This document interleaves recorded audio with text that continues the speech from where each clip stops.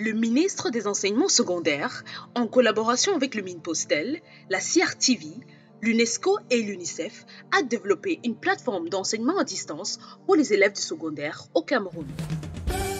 Une série d'enseignements dispensés par des enseignants de qualité pour les élèves du secondaire.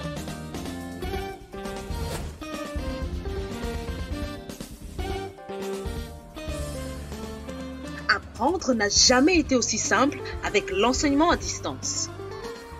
Une initiative du ministère des Enseignements secondaires sous la supervision du professeur Pauline Nalovalyonga en collaboration avec le ministre des Postes et Télécommunications, la CRTV, l'UNESCO et l'UNICEF nous introduisons l'enseignement à distance comme une autre méthode d'enseignement et d'apprentissage qui diffère du cadre de classe traditionnel auquel vous êtes tous habitués. Dans le mode d'enseignement à distance, vous n'êtes pas avec l'enseignant en personne, alors prenez votre temps, détendez-vous, écoutez l'enseignant, prenez des notes et visitez les liens suivants pour toute question ou réponse à vos préoccupations. Allez-y à votre rythme. Nalova Lyonga, ministre des Enseignements secondaires. Bienvenue à la phase 2 de notre programme de révision en mathématiques. Je suis M. Tenambou Légué Boniface, enseignant de mathématiques. La phase 2 de révision en mathématiques vous aidera à mieux vous préparer à l'examen probatoire scientifique, notamment les probatoires CE et probatoires D TI. Cette phase 2, qui porte sur l'analyse et qui aura pour contenu étude d'une fonction numérique. Nous aurons dans cette phase, comme attente, l'étude d'une fonction numérique comme attente, notion de limite, notion de sens de variation, éléments de symétrie, et j'en passe, puis tracer sa courbe à partir de son tableau de variation.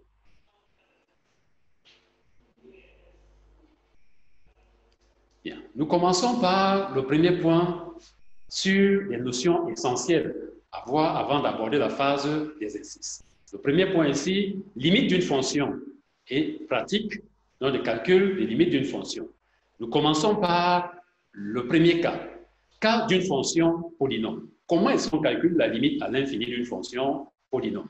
La limite à l'infini d'une fonction polynôme est égale à la limite à l'infini de son monôme de plus haut degré. Je reprends, la limite d'une fonction polynôme à l'infini est égale à la limite à l'infini de son monôme de plus haut degré. Nous passons aux fonctions rationnelles. Comment est-ce qu'on calcule la limite à l'infini d'une fonction rationnelle? Si nous prenons la fonction d'expression f de x égale p de x sur q de x, la limite à l'infini de f est égale à la limite du rapport du monôme de plus haut degré de p c'est-à-dire le plus haut degré du numérateur, sur le monôme de plus haut degré de Q, Q étant ici le dénominateur. La limite en un réel. Si nous prenons un réel x0 qui n'est pas dans le domaine de définition, la limite de la fonction f, c'est-à-dire la fonction rationnelle qui est f de x égale à p de x sur q de x, lorsque nous la calculons en x0 qui n'appartient pas au domaine, elle est égale au rapport de la limite de p en x0 sur la limite de q en x0. Il est important ici de préciser qu'il est toujours nécessaire de chercher le signe du zéro du dénominateur. Deux, limite d'une fonction et asymptote. Si nous prenons une fonction numérique f définie sur un intervalle i de r, f est définie, si f est définie au voisinage d'un réel a de i, et nous calculons la limite de f.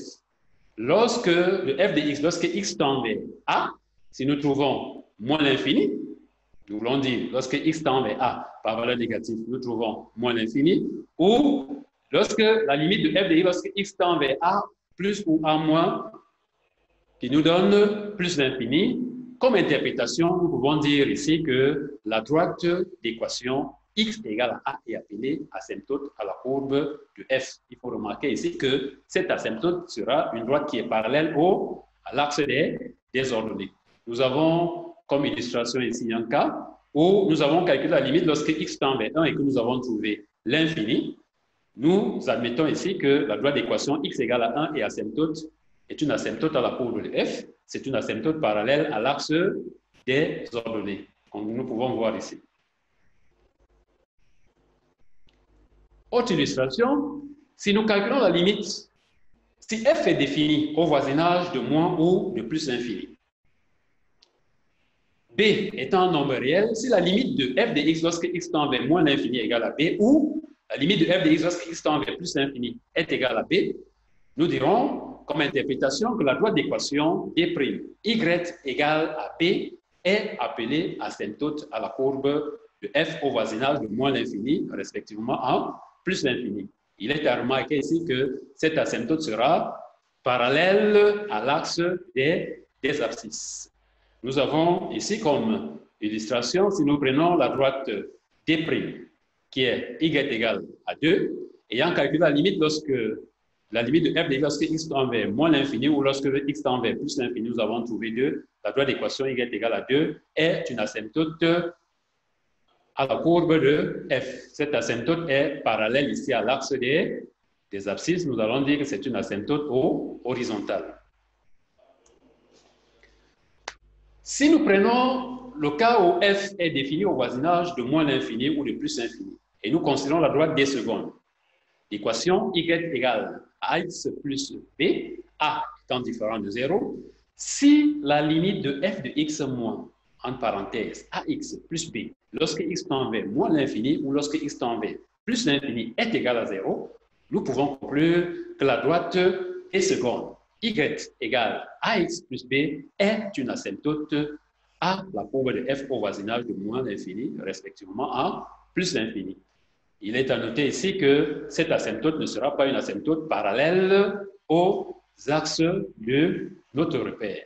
Nous avons pris le cas ici où nous avons calculé la limite de f de x moins x lorsque x tend vers moins l'infini. Nous avons trouvé ici comme résultat 0. Nous avons donc conclu que la droite d'équation des secondes, la droite des secondes d'équation y égale à x est une asymptote à la courbe de f au voisinage de moins l'infini. Nous avons comme illustration ici cette asymptote.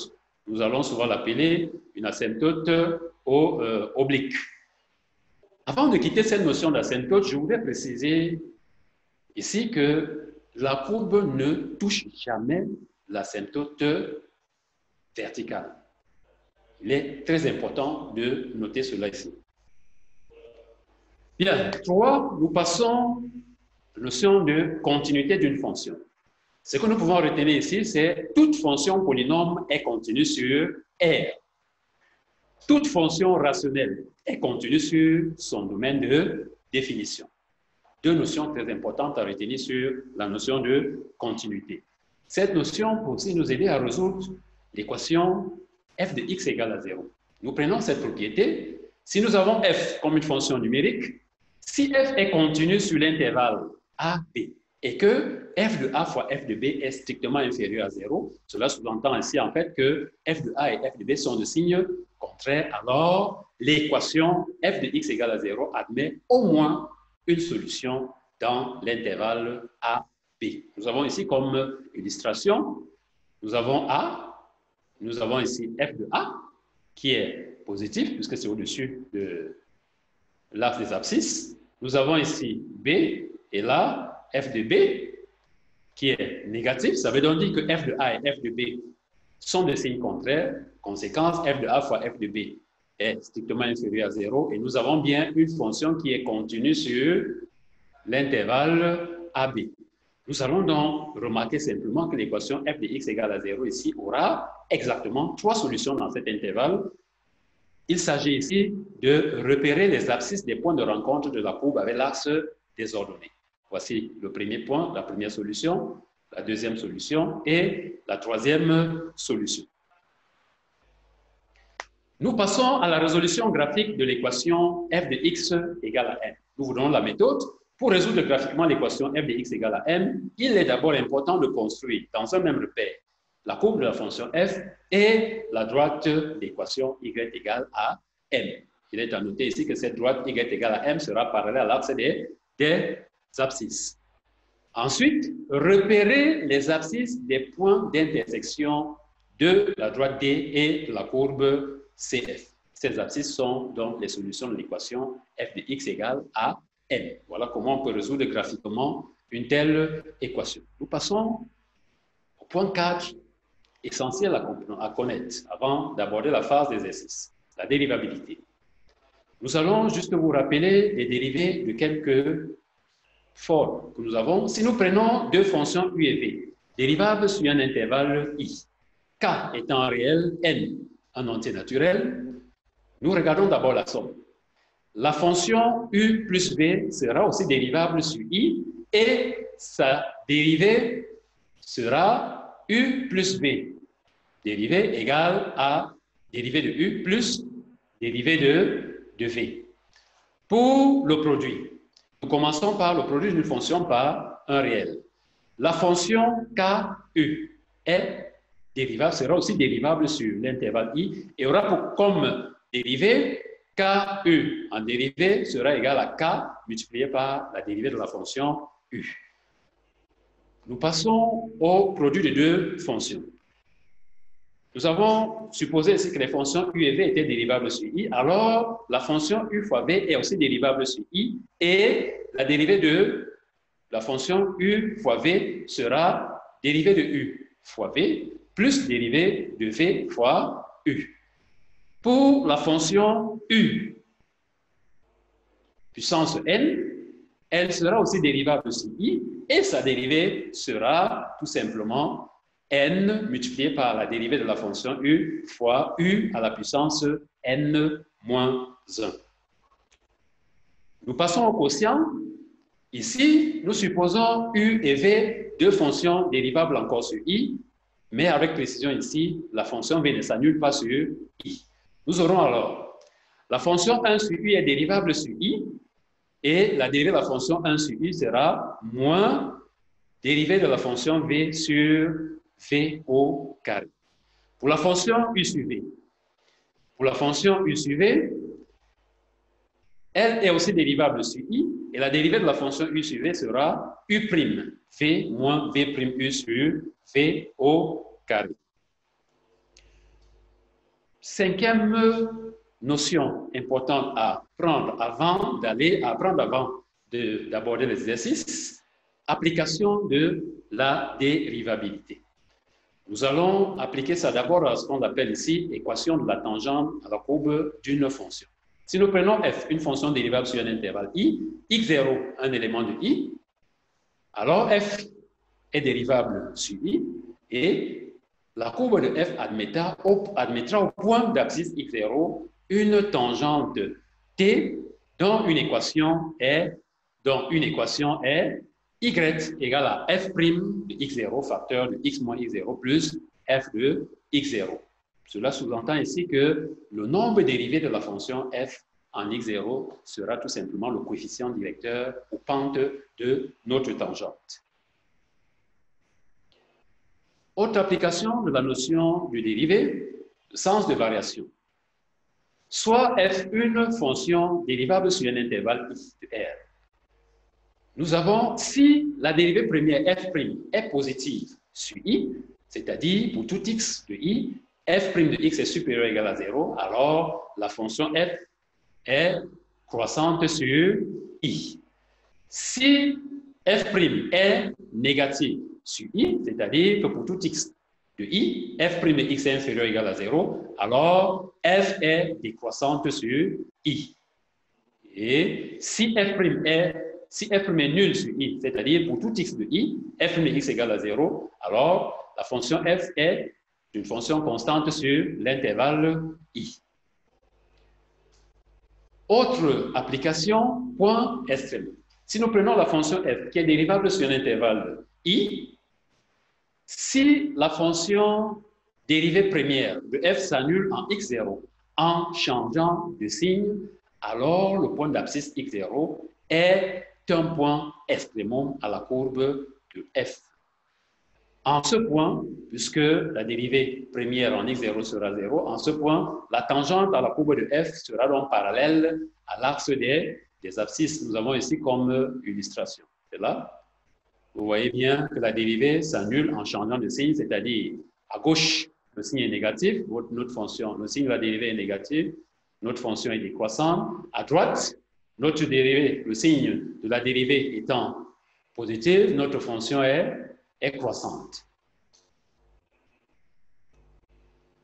6. Quelques éléments dont nous aurons besoin dans l'étude d'une fonction. Axe de symétrie à la courbe de la fonction f. Soit f, une fonction numérique, et cf, sa courbe, df, son ensemble de définitions. Si nous prenons la droite d'équation x égale à a, a étant réel, cette droite est un axe de symétrie à la courbe de la fonction f si on peut vérifier l'une des propositions ci-dessous. Naturellement, il y a deux. Vous aurez le choix. La première proposition, pour tout x appartenant au domaine de définition, si 2a moins x appartient au domaine définition et f de 2a moins x est égal à f de x, nous pouvons dire que la droite d'équation x égale à a est un axe de symétrie à la courbe de f. Deuxième façon de justifier cela, c'est pour tout x que nous prenons dans le domaine de définition. A moins x est dans le domaine, a plus x est dans le domaine, et f de a moins x est égal à f de a plus x. Nous pouvons dire aussi que la courbe de la fonction f admet la droite d'équation x égale à a comme axe de symétrie. Passons au deuxième point là-dessus, centre de symétrie d'une courbe à une fonction. Soit f, une fonction de courbe CF, l'ensemble des définitions df, le point oméga de coordonnées AB est un centre de symétrie à la courbe de f si on peut vérifier l'une des propositions ci-dessous. C'est exactement comme, c'est un peu comme tout à l'heure, vous aurez deux possibilités. Chacun pourra faire son choix suivant euh, la proposition sur laquelle il sera le plus à l'aise. Pour tout x appartenant au domaine de définition de f, si 2a moins x appartient au domaine de f et f de 2a moins x plus f de x est égal à 2b, alors le point de coordonnée AB est un centre de symétrie à la courbe de f. Deuxième façon de justifier, pour tout x appartenant au domaine de définition de f, si a moins x appartient aussi au domaine de définition de f, a plus appartient au domaine de définition de f, et f de a moins x plus f de a plus x est égal à 2b, nous pouvons aussi affirmer que le point de coordonnée AB est un centre de symétrie à la courbe de la fonction f.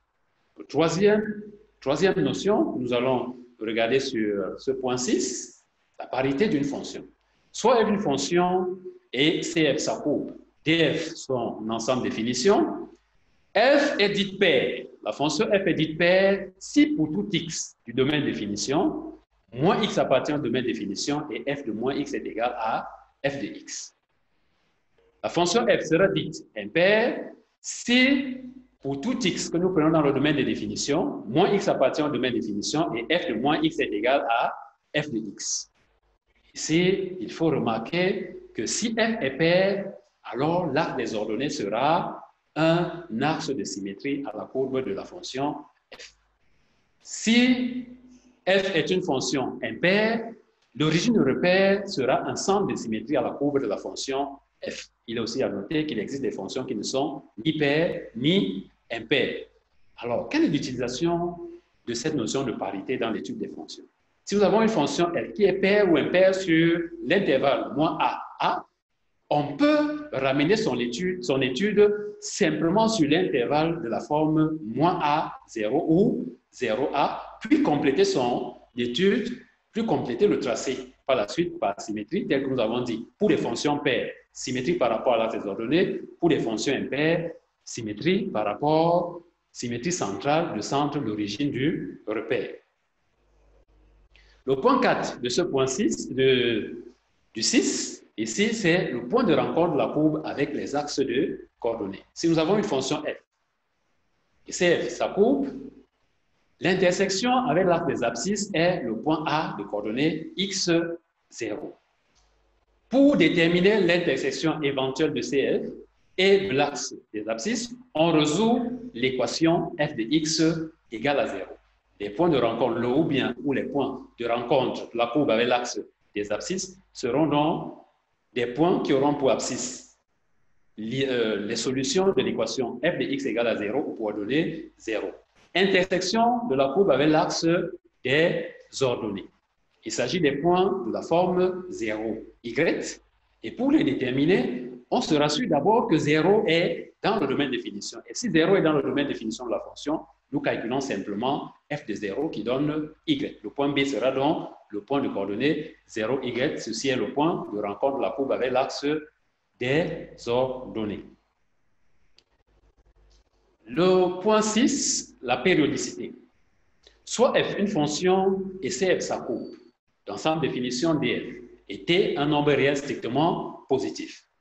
F est périodique des périodes t ou t périodique si pour tout x appartenant au domaine de définition de f, x plus t est aussi un élément, du domaine de définition de f, et f de x plus t est égal à f de x. Là, nous disons que la fonction f est périodique de période t.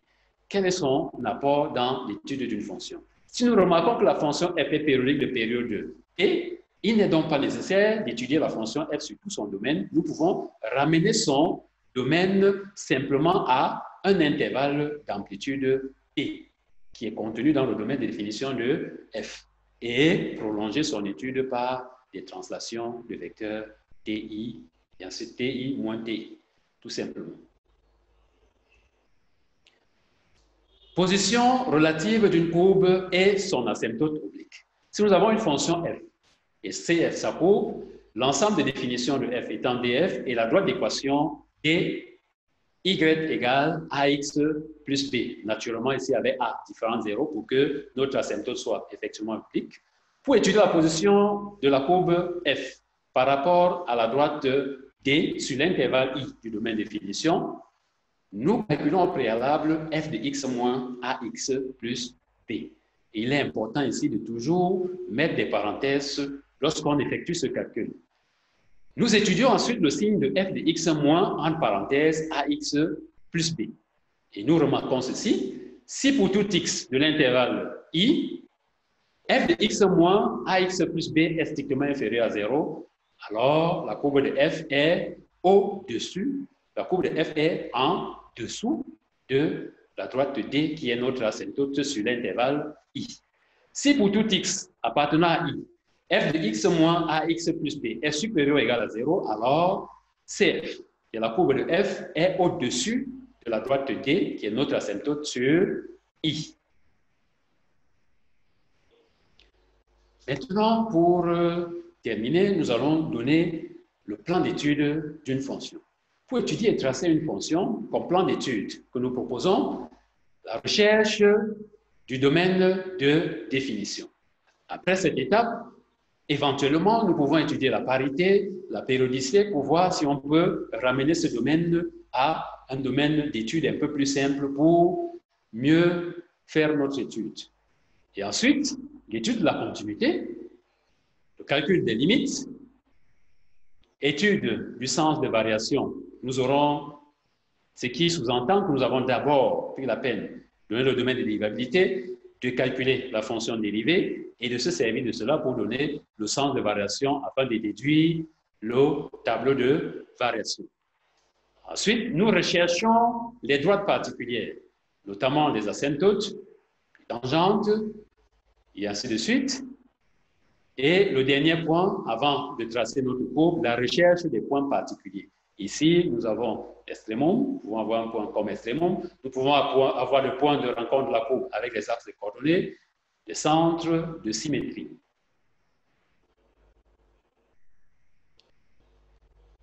Nous sommes à la fin des rappels des notions importantes pour mieux aborder la phase d'exercice. Nous nous retrouvons dans quelques instants pour la phase proprement dite d'exercice le ministre des Enseignements secondaires, en collaboration avec le MINPOSTEL, la CRTV, l'UNESCO et l'UNICEF, a développé une plateforme d'enseignement à distance pour les élèves du secondaire au Cameroun. Une série d'enseignements dispensés par des enseignants de qualité. Pour les élèves du secondaire,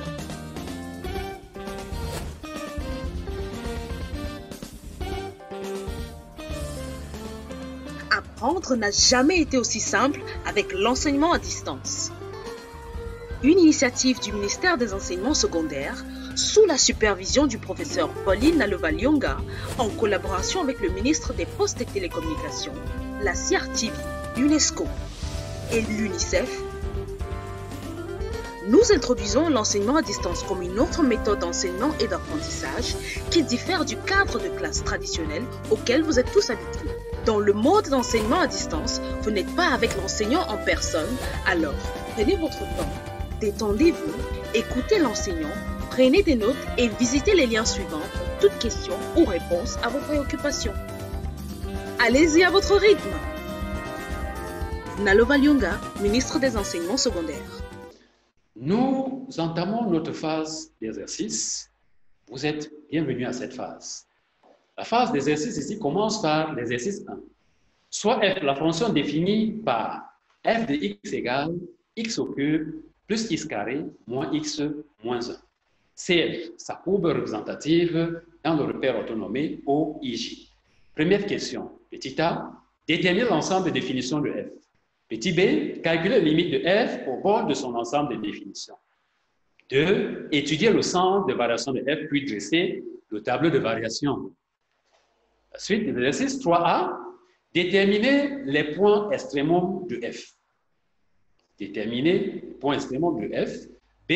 Écrire l'équation de la tangente t au point d'abscisse 0 de la courbe de f. 4a.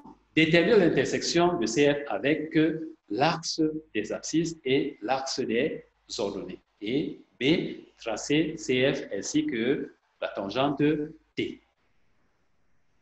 Nous entamons la résolution de l'exercice 1 par la première question.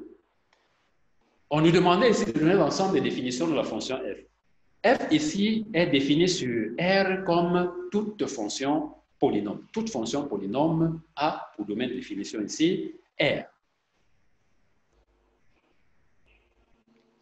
B, il était question pour nous de calculer les limites de f aux bornes du domaine de définition. Nous avons dit tout à l'heure que notre domaine de définition était R. Donc, si nous voulons écrire ça sous forme d'intervalle, nous avons donc domaine de définition de la fonction f, qui est R. Lorsque nous voulons l'écrire sous forme d'intervalle, nous avons l'intervalle. Nous avons donc moins l'infini à plus l'infini. Quelles sont les bornes de notre ensemble de définition Nous aurons ici comme borne moins l'infini et comme prochaine borne plus l'infini. Nous allons procéder au calcul des limites de la fonction aux bornes du domaine de définition. Nous commençons par la première limite. Nous avons la limite de f de x. Lorsque x tend vers plus l'infini, qui est égal à la limite lorsque x tend vers plus l'infini. x au cube plus x carré moins x moins 1. Comme nous l'avons dit tout à l'heure, nous avons affaire ici à une fonction polynôme. Et on a dit que la limite en l'infini, ici nous sommes en plus l'infini, d'une fonction polynôme est égale à la limite en infini de son nombre le plus haut niveau. Nous avons l'expression de f de x et voilà son nombre le plus haut degré. Nous aurons donc limite, ceci est égal à limite de x au cube lorsque x vers plus l'infini, nous donnera tout simplement plus l'infini. De même, nous aurons la limite de f de x. Lorsque x vers moins l'infini, qui sera la limite de x au cube plus x carré moins x moins 1 lorsque x tend vers plus l'infini, qui sera la limite de x au cube lorsque x tend vers plus vers. Nous sommes, on revient un peu là, nous sommes ici en moins l'infini. Nous sommes là effectivement en moins l'infini. Et cette limite nous donnera donc comme résultat moins l'infini. Voilà le calcul des limites au bord de l'ensemble de définitions. Vous les avez là. Effectivement, la limite de f de x lorsque x tend vers moins l'infini qui est moins l'infini, la limite de f de x lorsque x tend vers plus l'infini qui est plus l'infini. Question 2. Étude du centre de variation de la fonction f. Notons ici que la fonction f est dérivable sur R comme fonction polynôme. Pour étudier son centre de variation, il est donc important pour nous de calculer la fonction dérivée de f. Lorsque nous prenons cette fonction, vous remarquez ici que f de x étant, nous allons noter, f de x est égal à x au cube plus x carré moins x moins 1. nous voulons calculer ici la dérivée de notre fonction. Nous avons dit qu'elle était dérivable sur L comme fonction polynôme. Nous allons donc dire soit x que nous prenons la L. La fonction dérivée première de f sera la dérivée de x au cube, qui est 3x au carré, la dérivée de x carré, qui est 2x, et la dérivée de moins x, la dérivée de moins x, qui est moins 1, la dérivée de moins 1, qui sera tout simplement 0. Donc nous aurons comme expression fonction dérivée première f, f de x égale 3x carré plus 2x moins 1. Puisque nous calculons cela pour euh, étudier le sens de variation de la fonction f, il est donc important pour nous de résoudre l'équation f' de x égale à 0, c'est-à-dire l'équation 3x carré plus 2x moins 1 égale à 0. Après calcul, le discriminant nous donnera 16, c'est-à-dire 4 au carré, et nous aurons comme solution x égale à moins 1, x égale à 1 tiers, et ceci donc nous permettra d'avoir le tableau de variation que nous avons là. Ce tableau de variation est constitué de trois lignes. La première ligne qui contient l'ensemble des définitions et des abscisses et des abscisses des points qui annulent la, fonction dérivée. La deuxième ligne qui contient la dérivée et son signe. Vous voyez bien que tout à l'heure, notre dérivée était un polynôme de second degré qui avait un discriminant strictement positif et qui s'est annulé en deux points, qui est donc du signe de A. À l'extérieur des racines, vous voyez plus, plus, et à l'intérieur, moins. Cela nous permet donc de générer la dernière ligne qui indique les flèches de variation. Nous avons donc la fonction qui est croissante là, décroissante et croissante. Voilà donc notre tableau de variation. Il est maintenant question pour nous de déterminer les point extrémum à la courbe de f. Lorsque nous observons notre tableau de variation, nous voyons que pour x égale à moins 1, la dérivée, pour x égale à moins 1, la dérivée de f s'annule en changeant de signe. Cela signifie donc que le point de coordonnées, le point, cela signifie tout simplement que le point b de coordonnées moins 1, 0 est un point extrémement à la courbe de f. Nous remarquons aussi que la fonction dérivée de f s'annule en un tiers, en changeant de signe, naturellement. Donc, le point A de coordonnées 1 tiers, moins 32 sur 27, est aussi un point extrémement à la courbe de f. B. Écrivons une équation de la tangente t au point d'abscisse 0 à la courbe de f.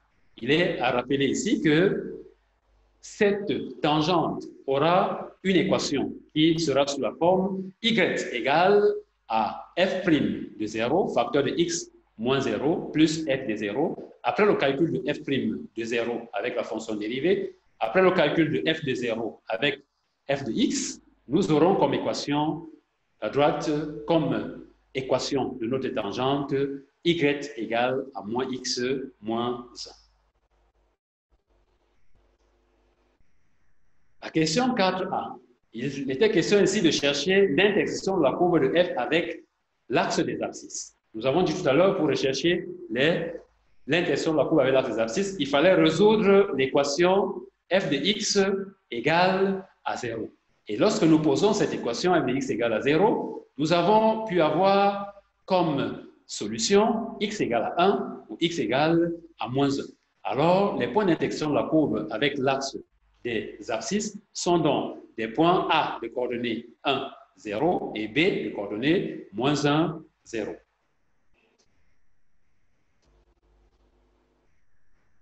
Donc, intersection de la courbe avec l'axe des ordonnées.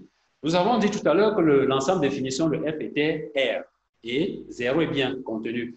0 est bien un élément de R dont nous pouvons calculer f de 0. Après calcul, f de 0 nous a donné moins 1. Donc, le point d'intersection de la courbe avec l'axe des ordonnées est tout simplement le point C de coordonnées 0, moins 1. Il est question pour nous maintenant de tracer la courbe de la fonction f. Ayant une autre table de variation, nous avons donc comme allure de notre courbe tout simplement ceci.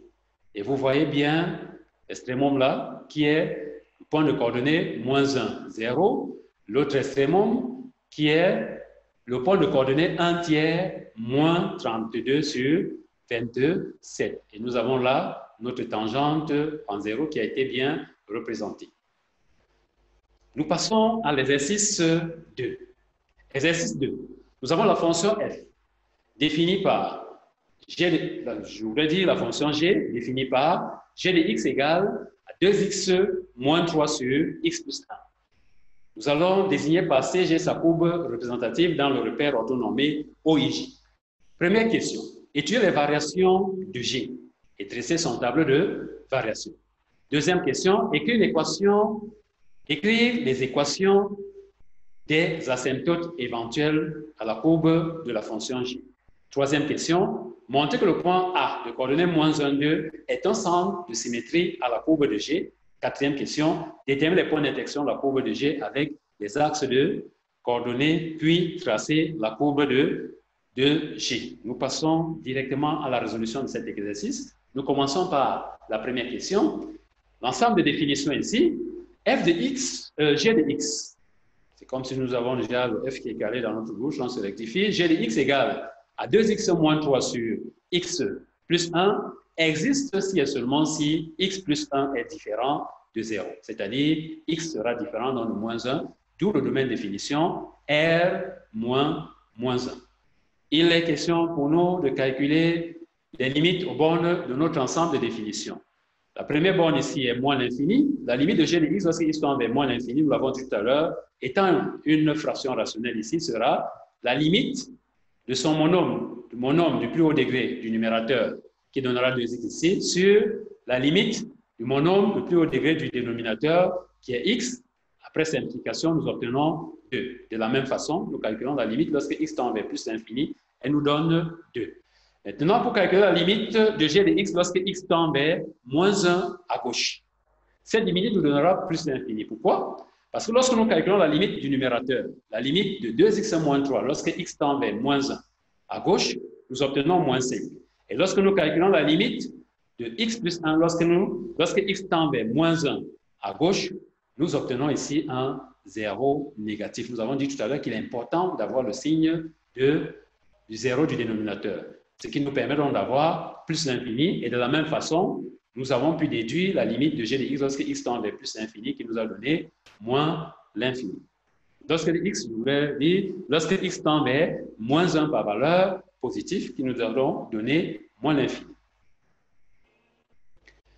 La question suivante, il est, nous devons calculer ici la dérivée de la fonction g. Nous avons dit toute fonction rationnel est dérivable sur son ensemble de définitions et notre ensemble de définitions était R privé de moins 1. Donc, pour tout x différent de moins 1, la dérivée de la fonction g est tout simplement, sera tout simplement, nous allons euh, vous montrer comment nous allons retrouver cette dérivée. Nous prenons la fonction g de x qui est notre fonction qui était tout simplement 2x moins 3 sur x plus 1. Nous avons dit pour x différent de moins 1, la dérivée de la fonction g. tout à l'heure, nous avons aussi vérifié que la dérivée de u sur v était égale à u' fois v moins v' fois u sur v au carré. Donc, nous dérivons d'abord le numérateur. C'est-à-dire, nous aurons 2x moins 3, facteur de x plus 1 moins x plus 1.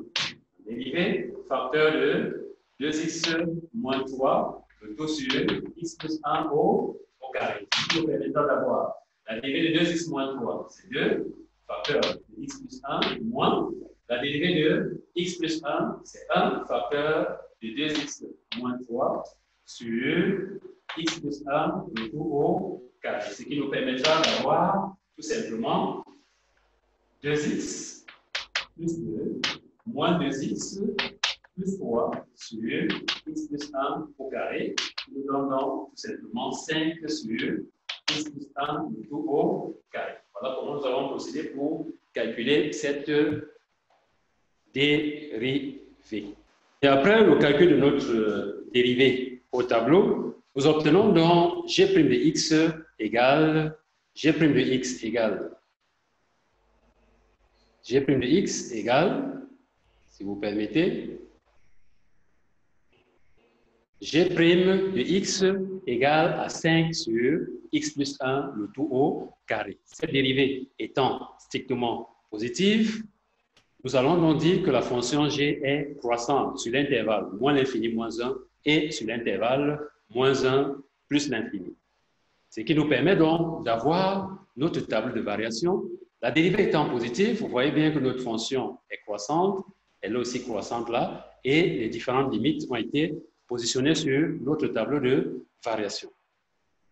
Nous passons à la question 2. Il est question ici d'écrire les équations des asymptotes éventuelles à la courbe de G. Lorsque nous avons calculé la limite de G de x lorsque x tend vers moins l'infini, nous avons trouvé 2. La limite de G de x lorsque x tend vers plus l'infini, nous avons trouvé 2. Donc, la droite d'équation y égale à 2 est une asymptote à la courbe de G. La limite de G de x lorsque x tend vers moins 1 à gauche vous avez donné plus l'infini. La limite de g de x lorsque x tend vers moins 1 à droite, vous avez donné moins l'infini. Donc, la droite d'équation x égale à moins 1 est une droite asymptote à la courbe de la fonction g. Nous voulons à présent montrer à la question 3 que le point A de coordonnées moins 1, 2 est un centre de symétrie à la courbe de la fonction g. Tout à l'heure, nous avons dit qu'il était important de commencer par prendre un élément x du domaine de G, se rassurer que moins 2, moins x est effectivement dans le domaine de G, et ensuite calculer f2 moins 2 moins x plus f de x, ce qui nous a permis à la fin d'avoir tout simplement 4 facteurs de x plus 1 sur x plus 1. Après simplification, nous avons 4 qui est égal à 2 fois 2, c'est-à-dire 2 fois b. Nous pouvons donc conclure ici que le point A de coordonnées moins 1, 2 est un centre de symétrie à la courbe de la fonction G. Question 4. Intersection de la courbe avec les axes de coordonnées. Nous commençons par l'intersection avec l'axe des abscisses. Nous calculons, nous allons chercher à résoudre l'équation g de x égale à 0. g de x égale à 0 équivaut à 2x moins 3 égale à 0, c'est-à-dire x égale à 3 demi nous pouvons donc dire que le point de rencontre de la courbe avec l'axe des abscisses est le point B de coordonnées 3,5, 0. Point de rencontre de la courbe avec l'axe des ordonnées, le domaine de définition étant R privé de moins 1, il contient bien 0, donc nous pouvons calculer G de 0. G de 0 nous donne moins 3, ce qui nous permet donc d'avoir comme point d'intersection de la courbe avec l'axe des ordonnées le point de coordonnées 0, moins 3. Nous pouvons donc à présent tracer la courbe de notre fonction. Vous pouvez y voir assez facilement nos deux asymptotes de tout à l'heure. L'asymptote qui était, nous avons ici l'asymptote horizontale, nous avons là l'asymptote verticale et puis l'allure de notre courbe, c'est-à-dire la fonction, la courbe qui est effectivement montante ici, c'est-à-dire la fonction g était une fonction croissante. Nous avons achevé avec l'exercice 2, nous passons à l'exercice 3. Nous avons la fonction f définie sur... Nous avons la fonction f définie par f de x égale à x carré moins 4x plus 5 sur x moins 2. CF, sa courbe représentative dans le repère OIJ. Première question, 1A. Déterminer la limite de f au bornes de son ensemble de définition. 2. En déduire des asymptotes à la courbe de f. 2. Étudier le sens de variation de f et dresser son tableau de variation. 3a. Pour justifier que pour tout x différent de 2, f de x peut se mettre sous la forme x moins 2 plus 1 sur x moins 2. Puis en déduire que la loi d'équation y est égale à x moins 2 est une asymptote à la courbe de f. B. Étudier la position relative de la courbe de f et la droite D. 4a, tracer la courbe de f et ses asymptotes. 4b, discuter suivant les valeurs du paramètre réel m le nombre de solutions de l'équation f de x égale à m. Sans plus attendre, nous commençons immédiatement avec la résolution de l'exercice 3. Nous avons comme domaine de définition ici, f de x existe si et seulement si x plus 2 est différent de x moins 2, j'allais dire, est différent de 0, c'est-à-dire il faudra que x soit différent de 2. Donc notre domaine sera R privé de, de 2. Nous pouvons donc procéder au calcul des limites au bord du domaine. Nous commençons avec la limite en moins l'infini. La limite lorsque x tend vers moins l'infini, la limite de f de x lorsque x tend vers moins l'infini est égale à la limite lorsque x tend vers moins l'infini. La fraction le plus haut degré du numérateur sur la fraction le plus haut degré du dénominateur, nous aurons donc x carré sur x qui se ramène simplement à la limite lorsque x tend vers moins l'infini de x qui est égal à moins l'infini. Nous procédons de la même façon pour calculer la limite de f de x lorsque x tend vers plus l'infini qui nous donnera la limite de x lorsque x tend vers plus l'infini qui est égal à plus l'infini. La limite de f de x lorsque x tend vers 2 par valeur négative est égale à moins l'infini parce que la limite du numérateur, x carré moins 4x plus 5, lorsque x tend vers 2 par valeur négative est égale à 1, et la limite de x moins 2 lorsque x tend vers 2 par valeur négative nous donne un 0 négatif. C'est ce qui nous a permis d'avoir comme limite moins l'infini. Et de la même façon, la limite de f de x tend vers 2 par valeur positive nous a donné 1 au numérateur et 0 plus au dénominateur, ce qui nous permet donc d'affirmer que la limite de f de x, lorsque x tend vers 2 par valeur positive est plus l'infini. Réduisons-en les asymptotes à la courbe de f. Nous avons calculé la limite lorsque x tendait vers 2 à gauche et lorsque x tendait vers 2 à droite. Nous avons trouvé respectivement moins l'infini et plus l'infini. Nous pouvons donc déduire que la droite d'équation x égale à 2 est asymptote parallèle à l'axe de la droite d'équation x égale à 2 est asymptote à la courbe de la fonction f. C'est une asymptote parallèle à l'axe des ordonnées. Nous parlerons d'asymptote verticale comme nous sommes dans un repère autonomie. 2. Étudions le centre de variation de f et dressons son tableau de variation. Il est question ici pour nous d'abord, f étant une fonction rationnelle, elle est dérivable sur son ensemble de définitions et pour calculer sa fonction dérivée, étant une fraction rationnelle, nous avons fait dérivé du numérateur fois dérivé du, fois du numérateur fois dénominateur, moins dérivé du dénominateur fois dénominateur sur dérivé sur dénominateur au carré, autant pour moi. Nous avons donc pu avoir à la suite, comme dérivé de la fonction f, x moins 1 facteur de x moins 3 sur x moins 2 le tout au carré. Et lorsque nous posons f' de x égale à 0, cela nous permet d'avoir x égale à 1, x égale à 3, et après calcul, f de 1 nous donne moins 2 et f de 3 nous donne 2. Ceci nous permet donc de générer ce tableau de variation. Ce tableau de variation que vous voyez très bien, la fonction f étant croissante ici, croissante là, décroissante ici et décroissante là, tout ceci est lié au signe de la fonction dérivée. Question 3a. Justifions que pour tout x différent de 2, f de x est égal à x moins 2 plus 1 sur x moins 2. Puis, déduisons-en que la droite d'équation y est égale à x moins 2 est asymptote à la courbe de f.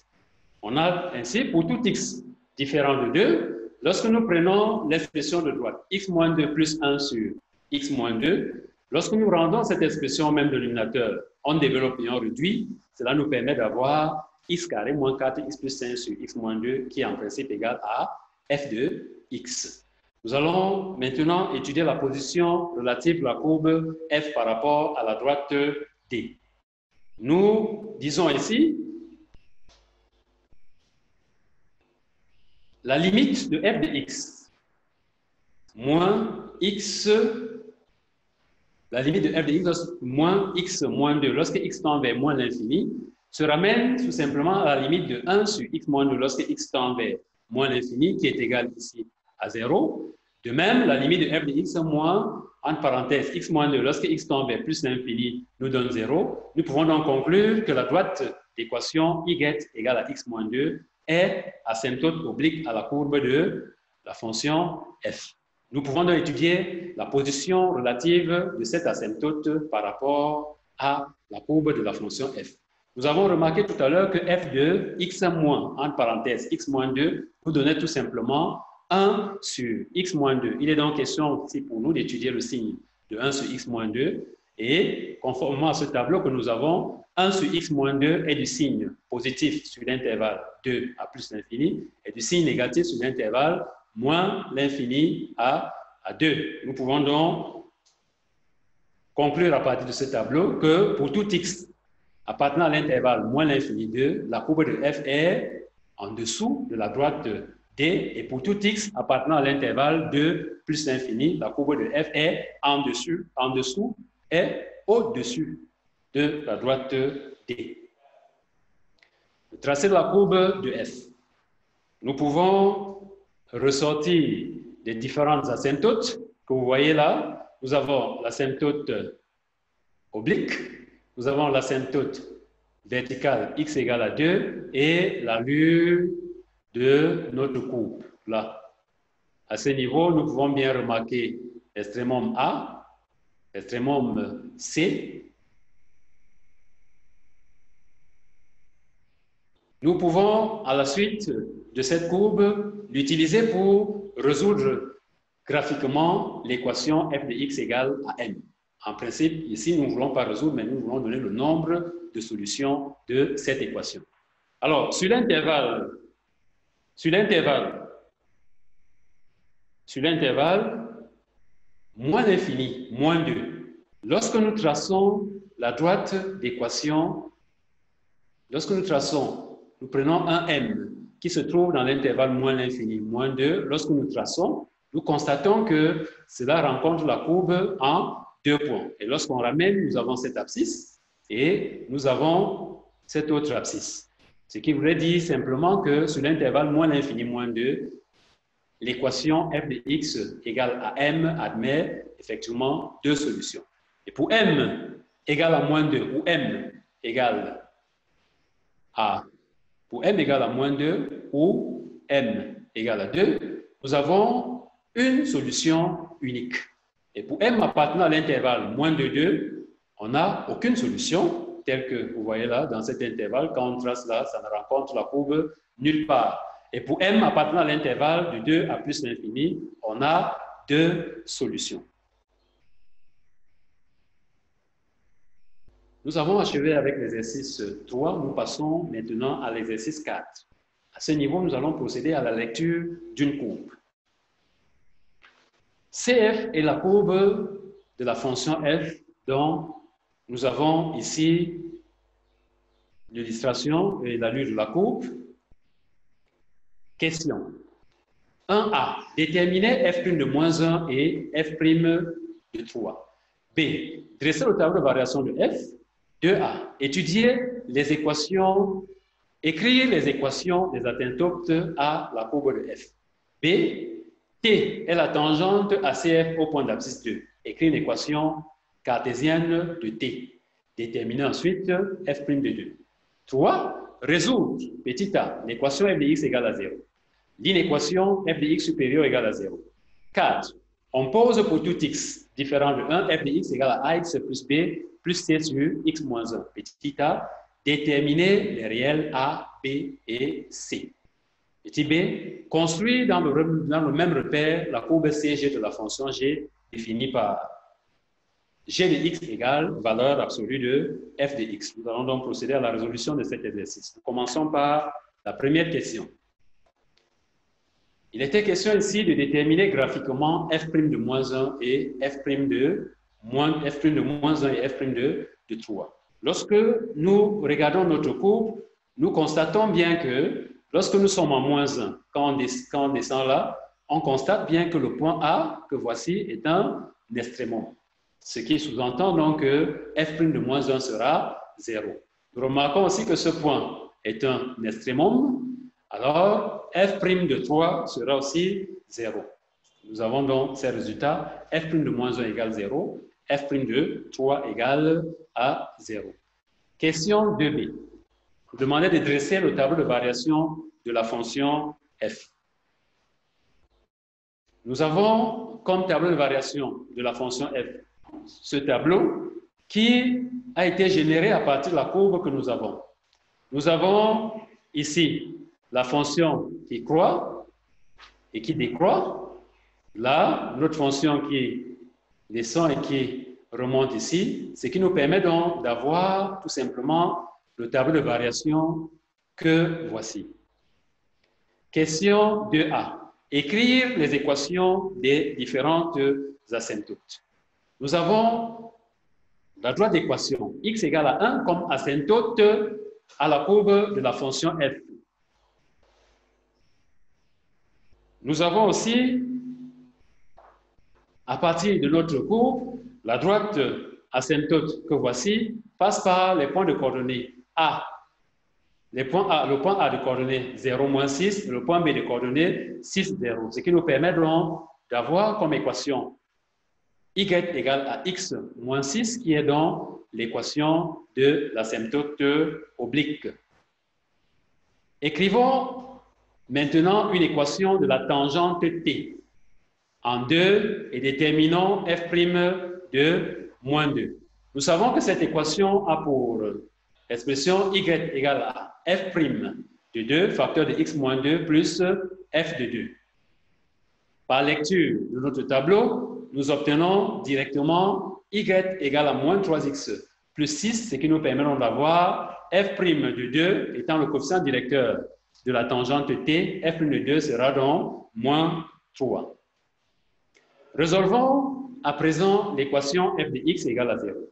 Nous avons déjà la courbe de la fonction f, nous irons sur cette courbe et nous allons tracer la droite d'équation y égale à 0, c'est-à-dire le point de rencontre de la courbe avec euh, l'axe des, des abscisses. Nous constatons ici qu'elle rencontre l'axe des abscisses en, en, deux points, ce qui nous permet donc d'avoir comme abscisse de ces deux points 2 et 5. La solution donc à l'équation f de x égale à 0 sera donc 2 et 5. Résolution graphique de l'équation f de x inférieure ou égale à 0. Nous voulons résoudre actuellement l'équation, l'inéquation f de x inférieure ou égale à 0. Cette inéquation, telle que vous la voyez, il est question en principe ici de rechercher les abscisses des points de la courbe situés en dessous de l'axe des, des abscisses. Nous avons ici cette partie qui est située en dessous de l'axe des abscisses, dont nous aurons comme solution moins l'infini 1 et cette autre petite partie qui est située en dessous de l'arc des abscisses, qui aura donc pour solution l'intervalle de 5. La solution de l'inéquation f de x inférieur ou égal à, 0 sera donc s égale intervalle moins l'infini 1 union l'intervalle fermé de 5. Nous allons procéder maintenant à la détermination des réels a, b et c. Pour tout x différent de 1, f de x devra se mettre sous la forme ax plus b plus c sur x moins 1. Lorsque nous nous référons à notre courbe, nous avons quelques points remarquables ici, notamment f de moins 1 égale à moins 9, f de 2 égale à 0, f de 0 égale à moins 10, en remplaçant x successivement par moins 1, x successivement par moins 1 dans l'expression f de x dans l'expression de f de x, en remplaçant f de 2 et en remplaçant f de 0, en remplaçant 0 par, euh, en remplaçant x par 0 dans l'expression de f de x, nous obtenons les trois équations, moins a plus b moins c sur 2 égale à moins 9, 2a plus b plus c égale à 0 et b moins c égale à moins 10, ce qui nous permet d'aboutir au système de trois équations à trois inconnus, a, B et C. Et après résolution de ce système, nous avons A égale à 1, B égale à moins 6 et C égale à 4. Ce qui nous permet donc d'écrire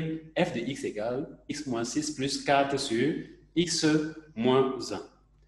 La dernière question, il fallait ici construire dans le même repère que la courbe de G, la courbe de la fonction, que la courbe de f, la courbe de la fonction G définie par g de x égale la valeur absolue de f de x le principe est simple, conserver la partie de la courbe de f située au-dessus de l'axe des abscisses et faire symétrie par rapport à l'axe des abscisses la partie située en dessous de l'axe des abscisses. Ce qui nous permet donc d'avoir tout simplement ceci comme morceau de la courbe de G. Ici aussi, nous avons cette partie et ensuite cette partie qui a été conservée. Nous sommes à la fin de notre phase de révision d'aujourd'hui. La prochaine phase portera sur l'organisation et la gestion des données. À très bientôt.